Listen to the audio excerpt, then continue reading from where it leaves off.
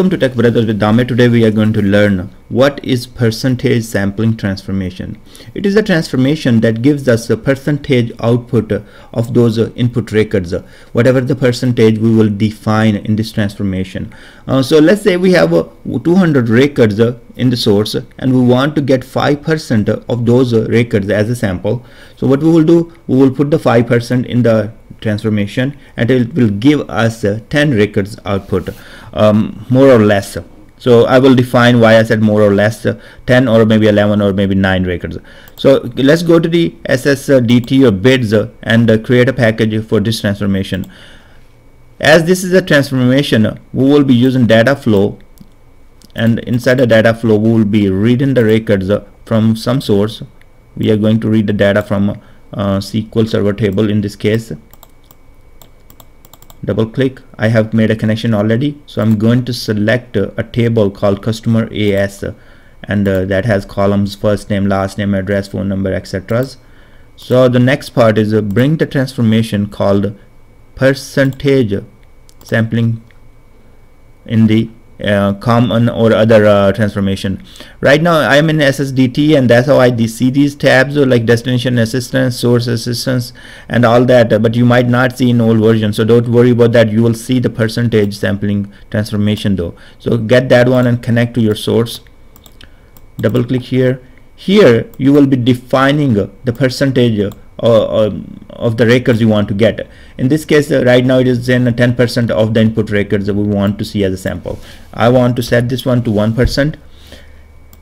The percentage sampling transformation is going to create two outputs for us. One is called sample output name. That's what it is. The very first one sampling selected output. So all those 1% records will be going on this output and all other ones uh, they will be going on the sampling unselected output. You can change the name whatever you want. Um, there, there, there is um, you can uh, change it right here. If I want to say my sampled data and I'm going to leave this one as it is.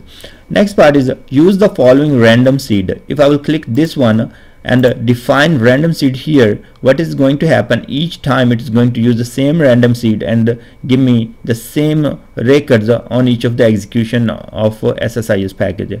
I want to leave this one unchecked so I will get the random records each time uh, different random records on whenever I run the package. Now one thing as we have defined 1% of the input records that we want to get as a sample. And as I, was telling you in the first day you might not get the exact 1% so that's how the algorithm work. You will be getting very close to 1% there would be plus or minus some records but uh, that's how the, the uh, percent sampling transformation work.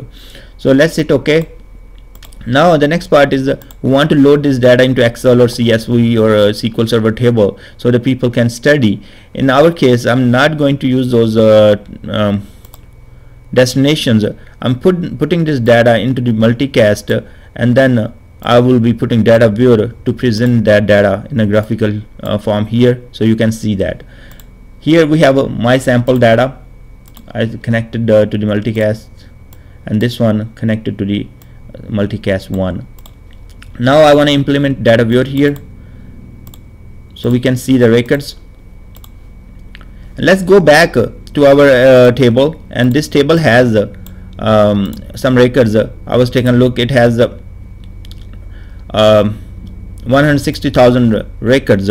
And uh, I, if I, I, will take uh, the sample 1% of that records so how many records I will get I will get 1638 records so let's see what uh, row sample uh, percent sampling will get us let's run the SSIS package So what I see here in the data viewer, these are the rows displayed in the data viewer. That doesn't mean these are the total rows uh, are sampled. So we can keep clicking um, and uh, that's how it will keep showing us. So data viewer uh, doesn't show you all the records or thousands of records, whatever you have in the um, in this window. So you can uh, close this one and then see we have we got 1641 uh, records. And 1% of that was 1600 uh, 38 records. So there are more records we, we got when we executed this uh, uh, transformation. Let's go back uh, run one more time and see what we get close the data viewer. Now what we got we got even more records. We got 1657 records.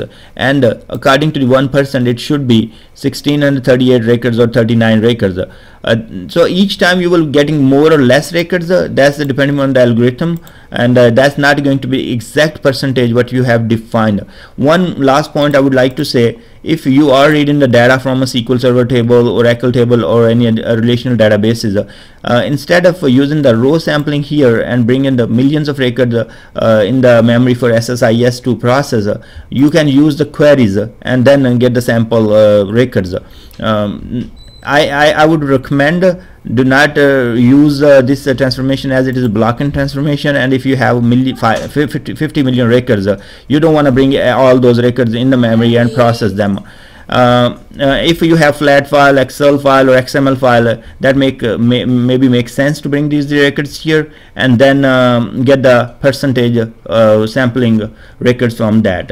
But still if you have really huge um, uh, flat file with the uh, 70 million 60 million 50 million. Uh, you might want to insert those records into the SQL Server table or Oracle table and use some other techniques uh, uh, by using T-SQL query or PL SQL query to get a percentage sampling records uh, for the studies.